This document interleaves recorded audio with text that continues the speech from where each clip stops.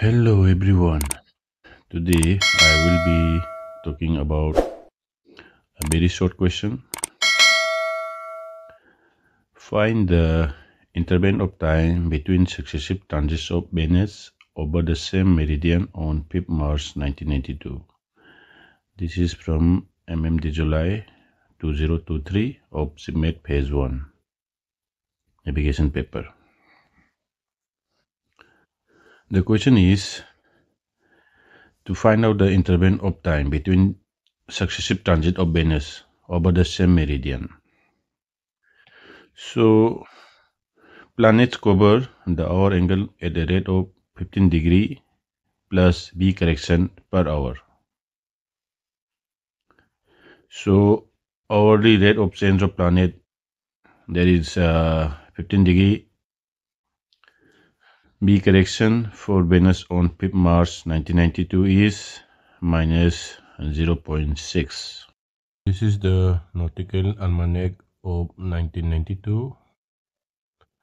Uh, now we proceed to on Pip Mars 1992. So this is the page.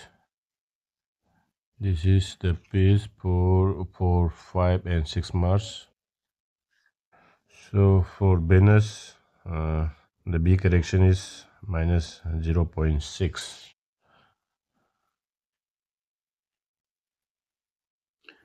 Therefore, actual hourly rate of change is equal to 15 degree plus minus 0 0.6 minute.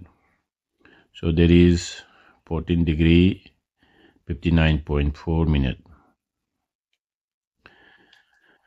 Total hour angle to be covered between two transits. There is meridian passage is equal to 360 degree.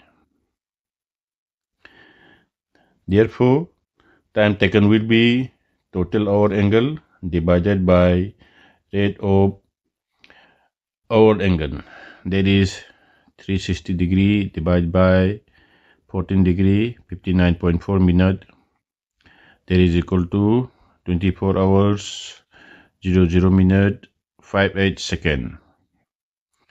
Therefore time taken for two successive transit of venus is 24 hours 00 minute 58 second.